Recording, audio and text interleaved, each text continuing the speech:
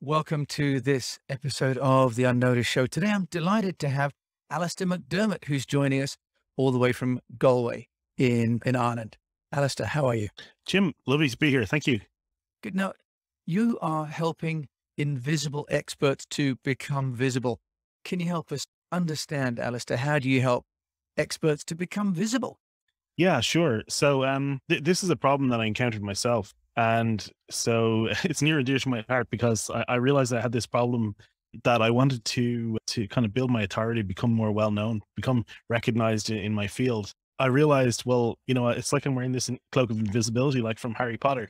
So I, I needed to remove that cloak of invisibility in some way. And and I, I kind of you hear this advice, you know, put yourself out there, but it's not so easy. And uh, there's, I think there's that there's a process that you've got to go through, and and so I, I started figuring that out. And and the one thing that that I I think is really important is if if you take the phrase recognized authority in your field, is that last part in your field, you actually have to niche down, you have to specialize.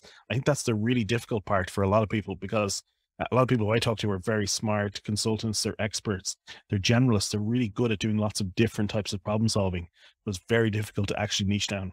Well, you know, I think you're absolutely right. There's this whole issue about the the riches are in the niches, but the anxiety is that you're leaving money on the table and that it's not possible to get enough money, if you like, from an individual niche. I'm going to call it a niche rather than a niche. So how does that work then, Asta? Because if you're, you know, an authority in one field, how can you get enough recognition to get enough business to be sustainable? Well, you, you've got to pick a field that's big enough. You've got to, you, there has to be enough business in that niche. So you can't niche down too much, but it, it's, it's basically you're, you're a big fish in a small pond. That's the way it works. The, the way that the, the world works now with, with Google search and things like that, it's only the, the top people in, in a particular field are going to come up top of the search results. The top people are going to get the most recommendations. You know, there's an advantage in being top of the pile. You've if if you're not top of the pile, then go find a smaller pile and be top of that. You know, that's that's that's the way it works. You know, and, and and I'm not saying this is just for Google search. Like this is you know this applies to the whole concept of of being recognized as an authority. It it, it you know you become known as a go-to person for that one problem for that one area. So I was thinking about this the other day. I'm wondering to what degree are you really just having a job description then? Because you see on LinkedIn now, people say, you know, I do this, and they become the highest authority in podcast creation, for example, or lead gen. You know, how how are they able to, if like, be broad enough to get in new business and not be just pigeonholed into one area? Do you think, Alastair? Okay, so first thing is I, I, have to I have to take up when you say the word uh, pigeonhole because that's one of those trigger words for me. Pigeonhole is people use it in such a negative way, and and I, I was listening to Blair Enns talking to to David C Baker, his his co-host on the Two Bobs podcast, and he, he was saying, you know, the pigeonholes are stuffed with cash. Why are people always giving out about pigeonhole? And so that's kind of my view on it. Is it's pigeonhole is it's such a negative kind of concept or term but it's because like it, we're usually multi-talented smart people and we don't like this idea that you know we're going to be constrained in some way. But the reality is that if you niche down usually it opened up a lot of opportunities for you and usually the problem area is much deeper than you initially realize that the the scope of the problems the the depth of the problems. It, it's just there's a lot more there's a lot more there's a lot more there that will fascinate you than than you think may be there uh, from from a kind of a surface visit to the to the area you know? Yeah so so that's the first thing and i think you know when, when you go deep on on any kind of specializations a few different ways you, you can niche down a few different ways you can specialize. But when you start to go deep you, you realize hey this is actually fascinating and there's a lot more here for me. And do you think that applies to companies as well as individuals? Oh yeah. I mean I, I, it depends on the size and scale so, and it also depends on on like there's a few different factors. Like for example, I think that if you're right at the very start of your career, that you, you can't niche down because you need to build a certain breadth of of experience so that you can make a good specialization decision later uh, because you, you do need to have a bit of a broad experience in order to niche down because because you need to be able to say well i do like this and i don't like that. I like these kind of people. I don't like working with those kind of people you know? So you, you, you do need some of that. And then on on the other end of the spectrum, you know, you take something like Seth Godin or Mark Schaefer or something like that, who like these these these kind of let's say industry experts where where in it where they're very broad. They they are so big at that point. They've built such a massive audience that they don't need to be niche down because they're just so big at that point. And, and, I think the same applies to companies that reach a certain size. They don't need to niche down. But for a lot of us, particularly for solo consultants, for independent consultants and, and, and very small businesses and very small firms, niching down can can give us this tremendous advantage when we're competing with somebody and they have a, a, general experience and we have this specialist experience it's it's almost no comparison it's it's it's apples to oranges it's it's not the same and it, it just makes you makes you stand out. So you've uh, sort of chosen your pigeonhole stuff with cash. I love that idea that there's this sort of pigeonhole there rmb see now i guess it would be. What about letting people know that you're in that pigeonhole? Because i guess that's the anxiety is you think that if you're in that niche, you can be invisible. And I guess hence to your podcast, for example. Yeah. So, okay. Well, well, the way I look at it is so to, to start, first of all, we need to get some broad experience so that we can actually um, end up in a position where we have enough expertise to be an expert because you have to be an expert to become an authority. So you have to, you have to have, have truly developed some expertise and it's usually quite broad. And then what you need to do at that point, and and when I say you need to, if, if you want to choose this journey of authority, you need to do this. You don't need to do this if you don't want to become an authority. But if you do want to become an authority, then you do have to pick a field. It, it just goes along with it.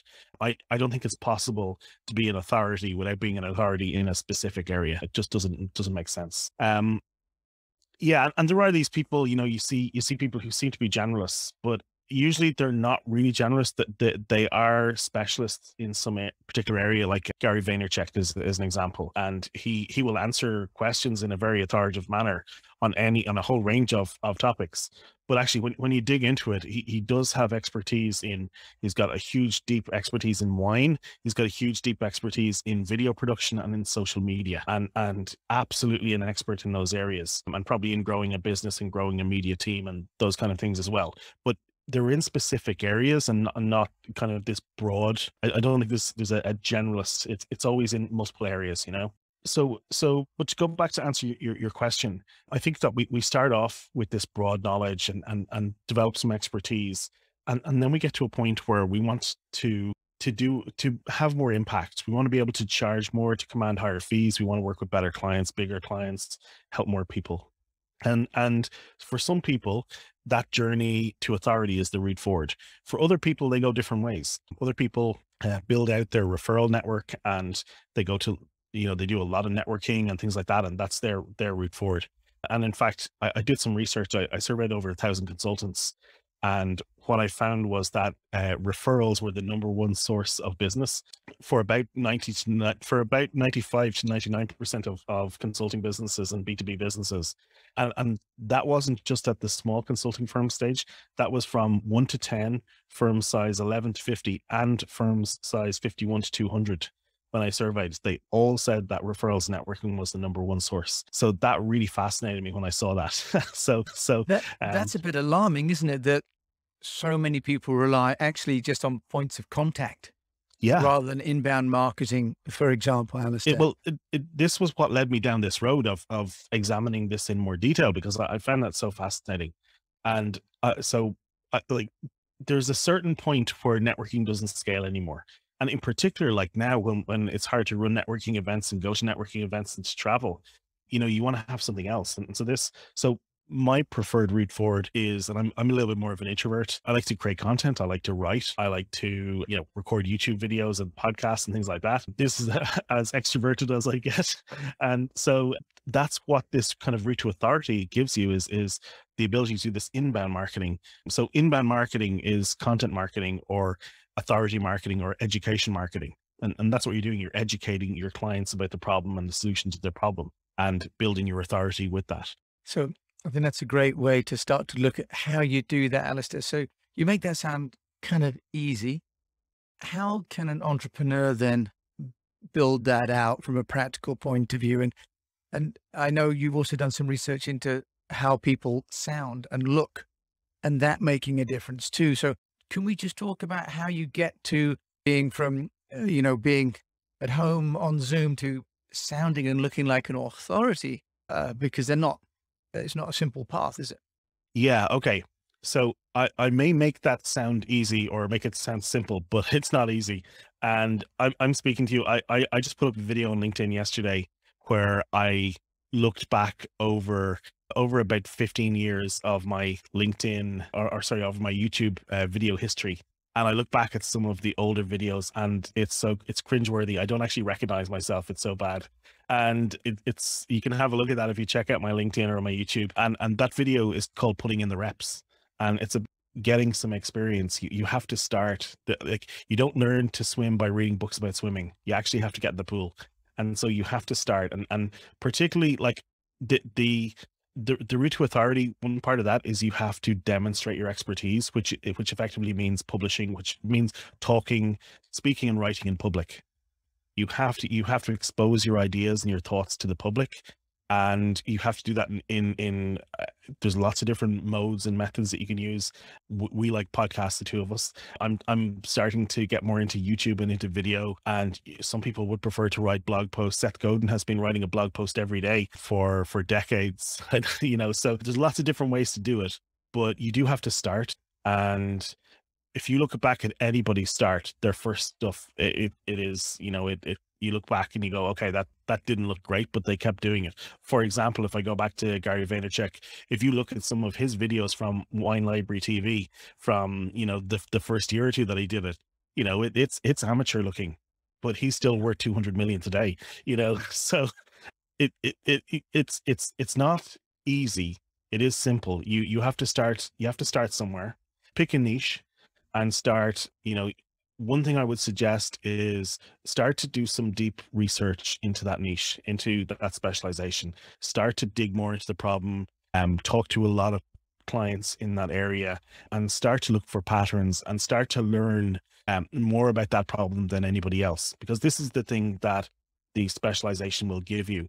It will give you a deeper understanding than other people have go back to David C. Baker. He, he wrote a book called The Business of Expertise. He he is the co-host of the Two Bobs podcast, which is a great podcast to listen to. One thing that talks about is is drop and give me 20 is this concept that if he's sitting beside somebody on a plane uh, and they're a true expert in their niche, they should be able to tell him 20 things that would surprise him uh, about that area that he wouldn't have known, you know, being outside it. So can, can you so the concept is can, can you tell me 20 things and by the way I'm, I'm nowhere near 20 yet but are there are there things that you have learned about your niche about your specialization that other people who are generalists might not know because they just haven't spent enough time in that area? So that's a good way of kind of uh, benchmarking your progress.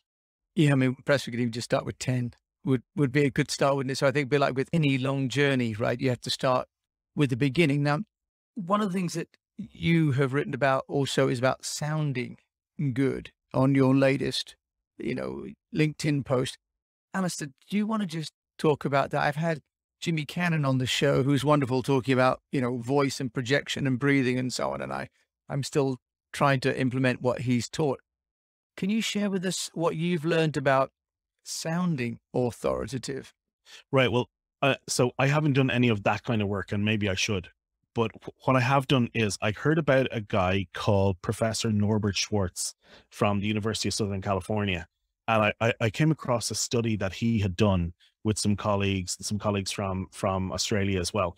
But what they did was they took some high quality audio of some scientists and researchers speaking. And they took the original high quality and then they downgraded it several levels as well. And so they took the original and then they took the downgraded version and they asked people to rate the quality of the researchers' work. They asked them to rate how likable they were, how intelligent they were. And what they found was that you are more likable, more intelligent sounding, and your work sounds more important when you have higher quality audio. They did the same test with video, the same results. And so what that says to me is that if you want to come across as an authority, you know, you don't want to sound like you're kind of dialing in from a, a bathtub or something, you know, you don't want to sound terrible audio quality. You want to work on that. And so I think there's a minimum bar that you should meet. Uh, and I think it's really important and more important now for people when we're working remotely. You know, it, it's a bit the same. You know, I'm sure if we walk into a room wearing a nice suit, you know, you get a certain level of respect. You know, you're seen in a certain way, and, I, am sure there's some some part of that. Now, I didn't ask Professor Schwarz about that, but I, I you know, I, I would imagine there's there's part of that to it as well. Uh, but some of it is from the cognitive of having to process and the difficulty in trying to hear what people are saying. So, for example, we're both wearing headphones right now, and that gives us better audio quality here on Zoom. Just a minute advantage over over Zoom if we're not wearing headphones, but that's one thing that podcasters might do, for example, to get better quality. So, there are little things that you can do to make your audio and video and then there are big things you can spend more money on equipment. You can see that i've got a really nice picture and that's from from spending a lot of money on camera and things like that and having good lighting. But it can be as simple as you know sit so you're facing the window rather than have the window behind you. So the window's lighting your face rather than not so people can see you. You know uh, put, putting in get get a, a 20 or 30 dollar led light that will um, light you up and, and that will make more difference than spending money on an expensive camera if you don't have good lighting you know? And then i, I would suggest spending you know, 100 quid, 200 quid on a good microphone. I think that makes a massive difference. Yeah, no, I think you're right. And I can turn off mine. There you go. I just bought some lights um, the other day because I was kind of shocked at a video that I did with somebody. And I thought, oh, crikey, I sound and look like I'm in a dingy room, uh, which is fine for the podcast, but terrible for the video. So, as you say, as we would have in the past invested in a nice suit or a nice watch in Asia, people judge you by the watch that you wear. So minimum investment in the technology that you use to relate to people through the internet is really key, isn't it, Alastair? Really interesting survey that. Yeah, yeah. And I think it probably, and, and I don't have evidence to back this up, but but my guess is that this probably applies to people who are in jobs as well, who are doing remote calls with their team. You know, your boss might might rank you as a better employee, or your or a potential employer might rate you as a better interviewer, a better interviewee than the next person. So you might get a job because you've got a better setup. You know, I can imagine that that's going to become uh, really important in the future. Yeah, no, I think that's also really, really important to, to get people to think about how they appear online. Do you think that is also then for businesses, Alastair? Because we've been talking about the sort of invisible entrepreneur or expert. How do you think that translates when it's not a solopreneur, but an entrepreneur running a business with 10, 20, maybe 30 staff? Well, I, I think that if you've got staff who are making video sales calls, that they should have really good video equipment. I think you should should seriously think about investing in that. I think that if you're making videos for YouTube and um, places like that, that you put a bit, of effort into to looking good, I think it just makes sense. Yeah, it's a bit like, do you remember the Jetsons? Do you remember she used to not answer the door and, and or the phone until she had her phone face? They were sort of 30 years ahead of the game. And how do you, Alastair, get yourself noticed? My final question for you as an entrepreneur yourself. Yeah. Well, so what I'm doing is, first of all, I started a podcast about eight months ago. So we're we're now at episode 40. So and that's that's released weekly. It's called the Recognized Authority. And it's about helping people on that journey to authority. So so that's one thing I'm doing. I'm actually just finishing up on a, a training course uh, that I'm doing with a company called Video Creators on YouTube, which is interesting because one aspect of, of creating videos for YouTube is, you know, the the actual recording of the video and the editing and all that part. But the other part is what are YouTube what do what do they want and um, incorporating things like story and tension and things like that in your videos. And uh, that's been really interesting. I'm kind of thinking about three act structures and creating tension and things like that. So blogging for the longest time, but that blogging wasn't effective uh, until I niched down. That was that was actually the the real problem that brought me to this whole area was I was trying to create a podcast and I was writing lots of blog posts and I was trying to plan a podcast. And so I started planning my podcast in 2014. So when you go back to, uh, it seems very simple. Uh, it seems very easy. Yeah, it, it took me uh, six years to to get this right. So uh, I hope to accelerate people on that. So you can maybe do it in six months instead. Do do, do what I say, not do what I do. so, but Alastair, if people want to hear more about you and find out more about your podcast, how can they find you? Yeah, sure. If you if you go to therecognizedauthority.com, spell it any way you like, UK or, or USA versions, therecognizedauthority.com, and you'll find the podcast, you'll find all the links there. You'll even find, if you look on, on the homepage, you'll even find a guide called That Sounds Good, which is a free guide to uh, audio and video equipment you might find useful. Alastair McDermott, the way from Ireland. Thank you so much for joining me as an increasingly visible expert and authority that you are on the subject. Thank you. Thank you, Jim.